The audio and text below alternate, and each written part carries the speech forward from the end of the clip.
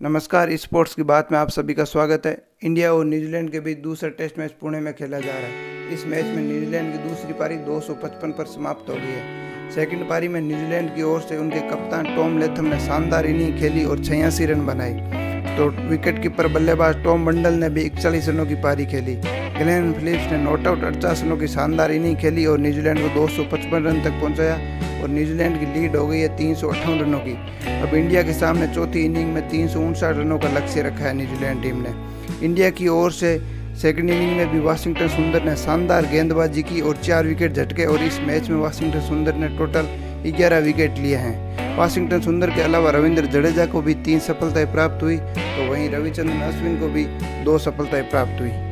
चौथी इनिंग में इंडिया के सामने न्यूजीलैंड टीम ने तीन सौ उनसठ रनों का लक्ष्य रखा है। ये बहुत ही विशाल लक्ष्य है, लेकिन ऐसा नहीं है कि ऐसा लक्ष्य पहले कभी इंडियन टीम ने हासिल नहीं किया है। टीम इंडिया ने 400 रन भी चेज किए थे, लेकिन अब इंडिया को इस मैच में जीतने के लिए चमत्कार और लक की भी ज़रूरत है, क्योंकि विकेट काफ़ी ख़राब नज़र आ रहा है, बॉल काफ़ी घूम रहा है चौथी इनिंग में। चौथी इनिंग में तो और डिफ़िकल्ट होता है बैटिंग करना, लेकिन इंडिया के पास ऐसे बल्लेबाज हैं जो इस मैच को जिता सकते हैं। विराट कोहली, रोहित शर्मा अगर यशस्वी जायसवाल ओपनिंग में अच्छी शुरुआत दे देते हैं तो इस मैच को इंडिया जीत भी सकती है।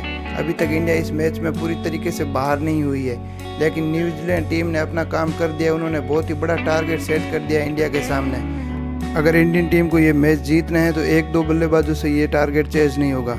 सभी बल्लेबाजों को अपना अपना योगदान देना पड़ेगा खास तौर से शुरुआत में कप्तान रोहित शर्मा और यशस्वी जयसवाल और शुभमन गिल। इन तीनों को में से किसी एक को तो बड़ी इनिंग खेलनी ही पड़ेगी। कम से कम एक बंदा अगर बड़ी इनिंग खेलता है तो नीचे विराट कोहली, सरफराज खान, ऋषभ पंत इस मैच में कारनामा कर सकते हैं।